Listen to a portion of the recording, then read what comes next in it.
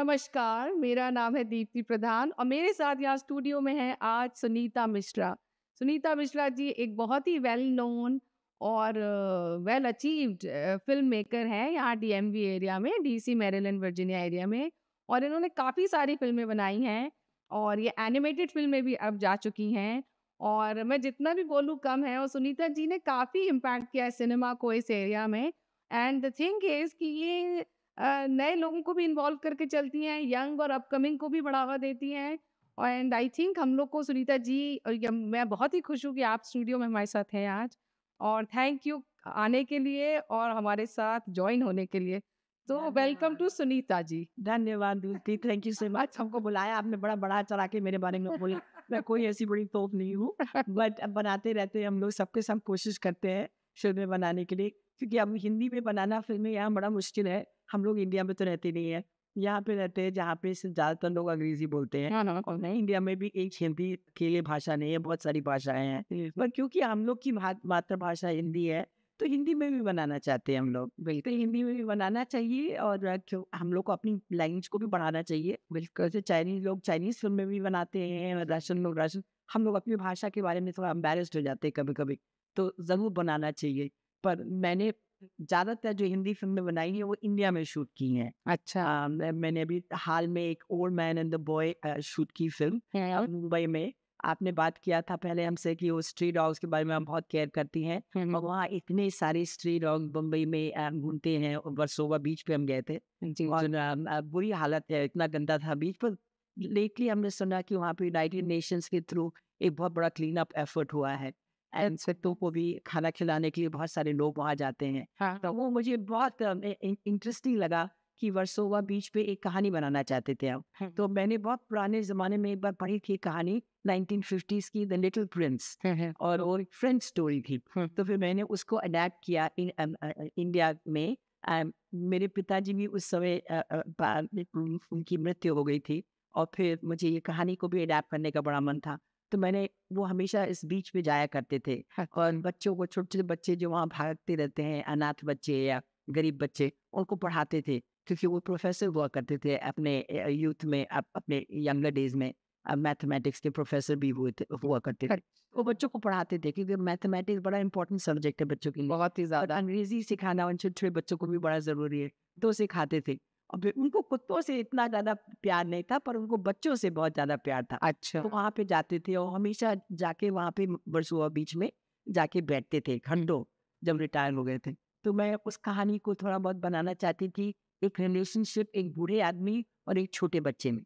वो बच्चा था ऑटिस्टिक वो अच्छा। बात नहीं कर सकता था। अच्छा। ये जो बूढ़े आदमी थे वो अपने ईयर पीस पहनते थे उनको सुनाई नहीं देता था ठीक से। हाँ तो ये बच्चे ये ये बूढ़े आदमी और ये छोटा बच्चा कैसे इंटरेक्ट करते हैं एक दूसरे दूसरे के साथ जबकि उनको भाषा की कोई ज़रूरत नहीं थी। हाँ हाँ। नो वो लोग इशारों में बात कर लेते हैं वो लोग प्यार की भाषा में बात कर लेते हैं।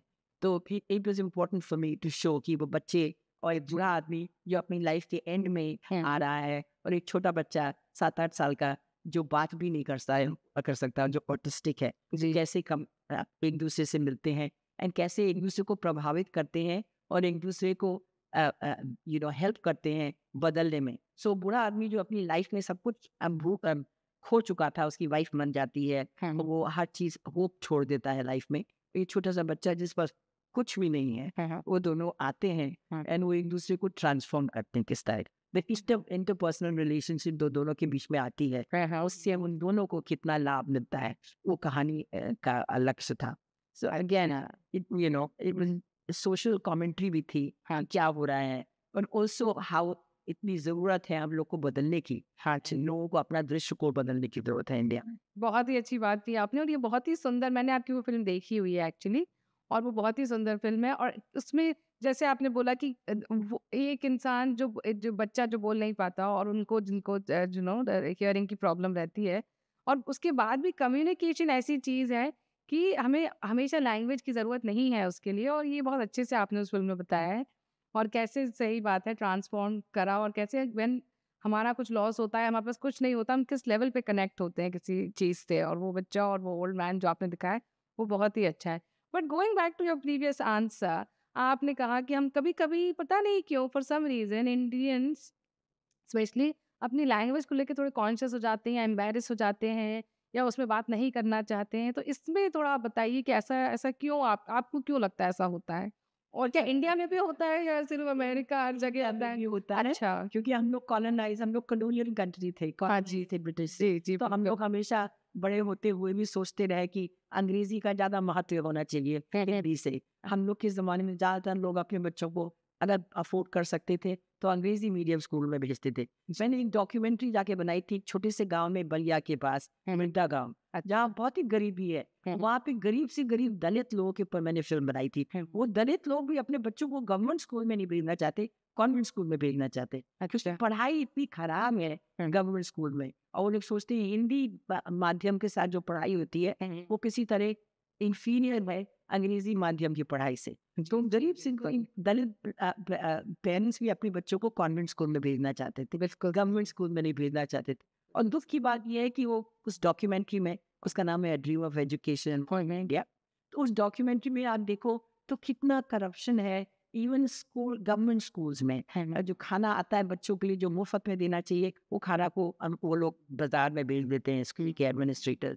जो वहाँ पे पढ़ाई या किताबें आती हैं वो किताबें भी बच्चों को नहीं मिलती हैं। और उनके स- स- सामने जहाँ जिस स्कूल में जाके गवर्नमेंट स्कूल में गए हमने शूटिंग की वहाँ पे फर्नीचर में नहीं था बच्चे ज़मीन पे बैठ के पढ़ रहे थे।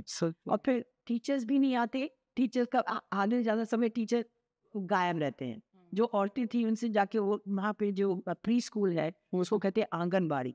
तो आंगनबाड़ी में कोई आता ही नहीं था पढ़ाने के लिए। तो मैंने उन औरतों से जाके बाहर स्कूल के पूछा क्यों नहीं आती आप पढ़ाने के लिए? तो कहती नहीं नहीं नहीं हमको घर में इतना काम रहता है। हमको घर में खाना बनाना पड़ता है। पर आपको तो पैसा मिल रहा है ऐसा नहीं बच्चों को और वो लोग उसका महत्व ही नहीं देखते नहीं है उसका महत्व कि बच्चों को पढ़ाना और ये गरीब बच्चों को पढ़ाना कितनी ज़रूरी रिस्पॉन्सिबिलिटी है। तो करप्शन बहुत ज़्यादा है। वो देख के मुझे थोड़ा दुख हुआ था।